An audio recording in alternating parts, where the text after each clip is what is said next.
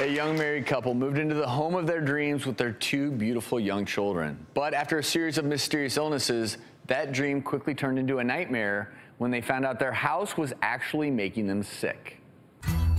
Four years ago, my husband and I purchased our first house. It was perfect for us. From the day we moved in, my son had an eye infection. He developed mono by the age of two. It just, whenever I fought, my head hurt. My husband and I both started experiencing brain fog, the dizziness, memory loss, the ulcers, pain in our stomach. And that's when she began to experience the hypoglycemic episodes. And so I went gluten-free, I went sugar-free. Stacy kept having major panic attacks. And she's at home with the children and having trouble functioning. I would think I put my daughter in the car and then I would realize that I didn't. I thought I was losing my mind. My son had a seizure out of nowhere.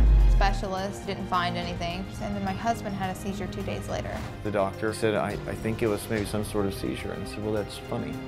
My son had a seizure two days ago. We knew something environmental was going on. We just didn't know what it was.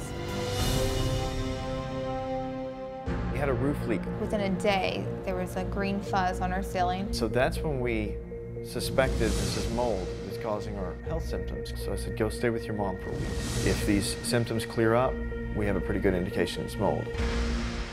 The first week was really bad. It's almost like detoxing from the mold. But then week two, things started getting better. I went to the local hardware store and bought suit, mask, gloves, and, and I went into the house and I found a small hole that was in the master bedroom and I stuck my phone camera in there and I was blown away. The mold was so thick and so black and so abundant. I did a tape lift of that area and I sent that to a, a lab and they sent it back and they said, yes, you have mold. You don't have one mold, you have four different kinds of mold. And each one of those molds puts off its own unique biotoxin.